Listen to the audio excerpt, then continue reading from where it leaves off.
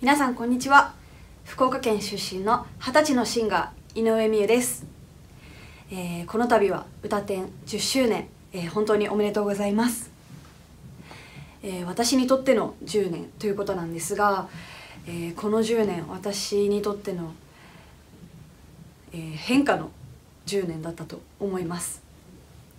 えまず10年前の自分10歳の自分っていうのは、えまず音楽に出会うことすらしてなかったので、えまず音楽を始めるというところから始まって、えそして福岡で音楽塾ボイスで、本当に長い間お世話になっていろんな歌の勉強をして、えメジャーデビューが決まってそして上京してという本当にあの目まぐるしく過ぎていく10年だったんじゃないかなと思います。えーそしてあの私の歌詞に対する思いなんですが、えー私が歌詞をちゃんとこう書き始める前から、えー歌詞サイトは本当によく利用していまして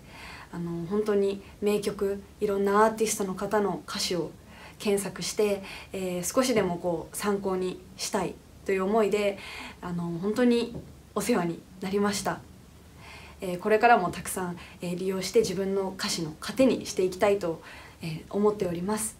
そして、え私のニューシングル「この空の果ても」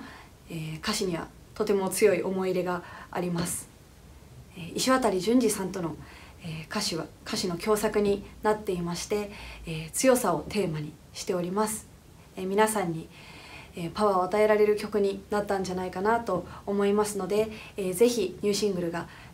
ニューシングルの歌詞も検索して、じっくり見ながら曲を聴いてほしいなと思います、それでは井上美優でした。